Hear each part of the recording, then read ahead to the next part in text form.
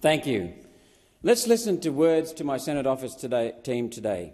Words from a brave ADF veteran with a distinguished record of serving our country and now serving veterans across the country. He opens with a quote from British Judge Sturgis Justice is open to everyone in the same way as the Ritz Hotel. End of quote. Announcing this cart before the horse decision today, just three days after the release of the Royal Commission into veteran suicide findings, a day after the 23rd anniversary of the 9 11 attacks, a day that forever changed the lives of these men and women, and on Are You OK Day in Australia is nothing short of cruel.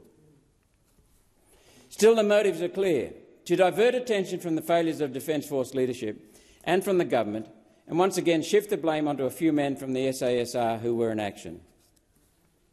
The timing is no coincidence. It's a calculated move to protect those at the top while scapegoating those who served on the front lines.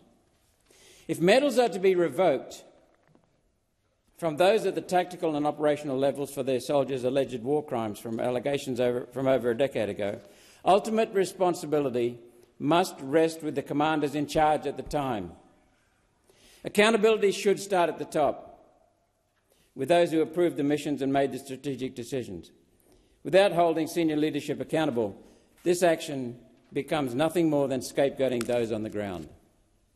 And I would say accountability must start at the top. Let's keep going with the ADF veterans' words.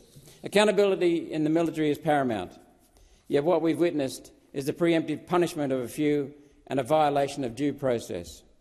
The chain of command ensures accountability at every level, meaning responsibility for success and failure is shared. Just my own comment in, in business, in sport, accountability is the fundamental quality. Going back to the ADF veteran. Therefore, generals who commanded during these periods, these men are set to lose their honours and awards. From the commander of Joint Task Force 633 to the chief of the Defence Force, officers who, for the most part, did not see action but wear medals suggesting they did, should face the same preemptive punishment. Stripping medals from senior officers reinforces command responsibility and ensures leadership is held accountable for their decisions in command. It upholds fairness and integrity, demonstrating that no one is above accountability. He goes on. Article 28 of the Rome Statute of the International Criminal Court establishes the principle of command responsibility holding military commanders criminally liable for crimes committed by their subordinates if they knew or should have known and failed to prevent or punish them. The statute places a clear duty on commanders to control their forces, and failure to do so makes them legally responsible for their subordinates' actions. In light of this, if soldiers are to be held accountable for alleged war crimes, the same standard must apply to the commanders in charge at the time. From the commander of the Joint Task Force 633 to the Chief of the Defence Force. Command responsibility dictates that leadership cannot be insulated from the consequences of their decisions. Yet after 10 years, the fact remains no one has been convicted of war crimes. This tone deaf statement and its timing send a clear message from the top of the Defence Force and government. It shows they've learned nothing from the declining recruitment and retention rates the public's outrage over ADF's bloated staff ranks and their untouchable status, or the findings of the Royal Commission into veteran suicide. Watch as recruitment and retention in the enlisted ranks continues to plummet. That's the end of the quote from that ADF veteran, a distinguished ADF veteran. He feels lo intense loyalty to the Defence Forces still, despite what's happened. And he, he's finished there with watch as recruitment and retention in the enlisted ranks continue to plummet. Why should he care? He's out. I'll tell you why he cares, because he cares about this country as well as the ADF and the, and the veterans and those still serving.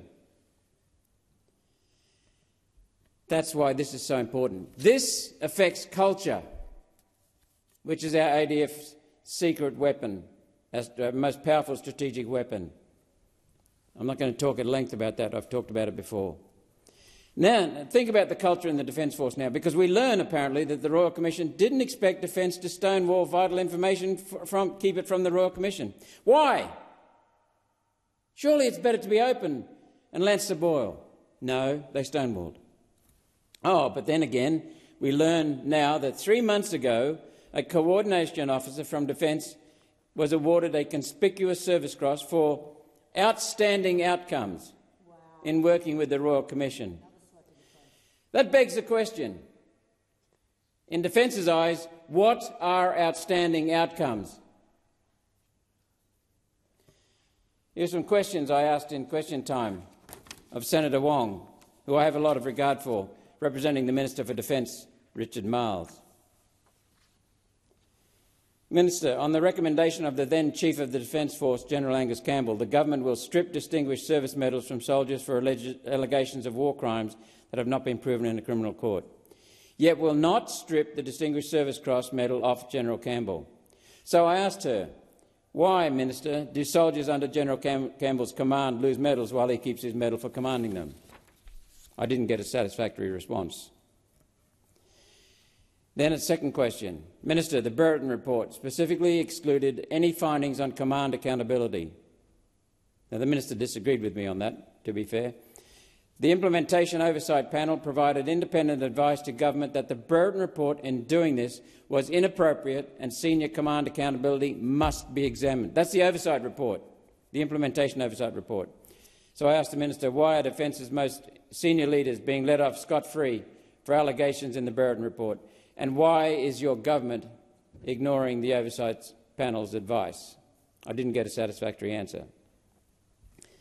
The last question I asked her Minister, the criteria for the Distinguished Service Cross at the time General Campbell was nominated required him to be in action, meaning direct contact with an enemy, facing the enemy, being fired on by the enemy, actual engagement.